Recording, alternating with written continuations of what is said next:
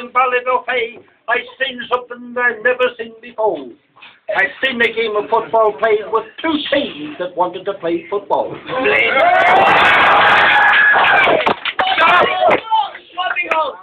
Now in the air we come and we, we done our bit.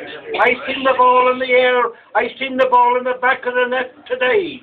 Now I can't remember who scored all the goals, but I guarantee you one thing. I think the wee Mackie lad had his foot on one of them.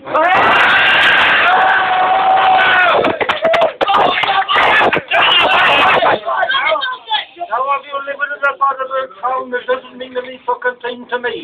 But I'll tell you one thing. There's a boy down there, Lions. You have to watch him. Lions' is out a long time ago.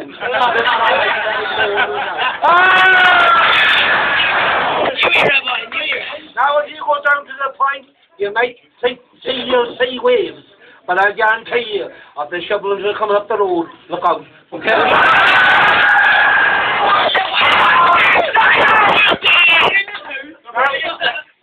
Playing for never great for holding the ball. but today I seen them holding one or two. and I seen his father on the sideline and I wish to God I never see him again.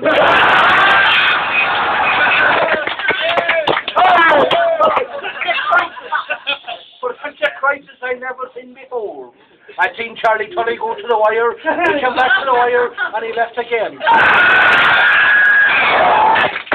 Willie Tully was there too, and as big and saving body as I've ever seen before. And he wasn't running for silly bags, he was Fernie Bolton. the teamer must be one of the greatest teams that I have ever seen before. Because I'll tell you, to win four cups in a row, you have to be something special, and I think you did it today. And I'm going to wrap it up all the goal and how did here we go. There was one ball that came in here today, and I seen Daniel McGlynn, when I'm under Jesus, I said, he'll never catch that ball.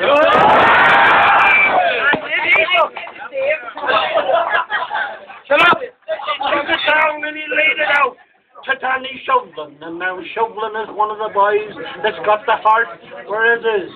He played it out into the corner and he played it up, and I seen that young fella out the road, what do they call him? His child name was. He got the ball and he worked it out and he worked it out to John Blaine. He went up the field and he was rolling and rolling and he was going and he was going. And I said he held the ball too far, but the referee says, you carry on.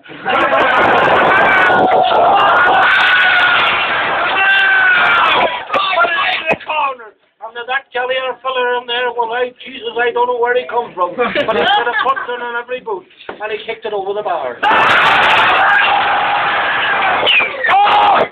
never finish the call because I tell you, when you have good lions on your team, he seems to pop up everywhere. And he sent it in again, and he sent it in to the little man, and I was wondering myself, I says, there's no divorce for this team.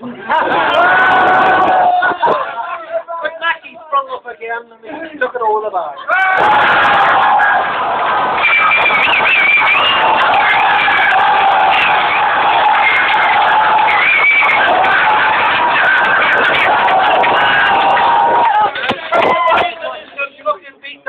Come back to Hall.